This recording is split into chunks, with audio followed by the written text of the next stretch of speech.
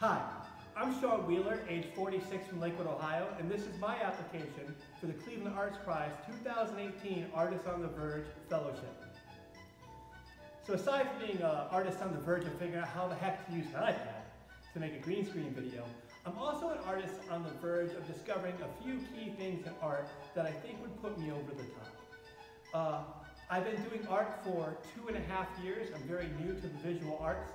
Having been diagnosed with PTSD, I decided to spend my time making art as an act of agency. I have discovered that the artist act of agency is a major, major portion to the actual reward of both creating and viewing art. Uh, the ability to make decisions, to, to construct a world based on the world I see.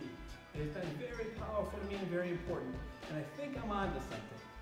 As you see in these images, I've been working a lot with acrylic paints, spray paints, mainly on canvases, and also doing some digital work on my iPad, using visual remixes and color choices to really make some interesting images.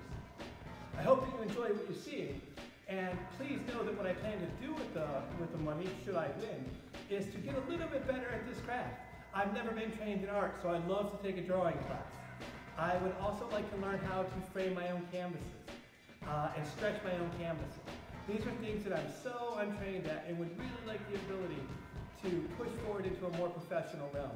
I think I have the, the visual acuity, I think I have the artistic sense, and I know I, I have the artist's soul. What I'm missing is a couple key things that would help me draw better, shape things better, and make things more interesting. So please consider my application. I think Cleveland is a great place to make art, and I really hope I can represent our city in this aspect.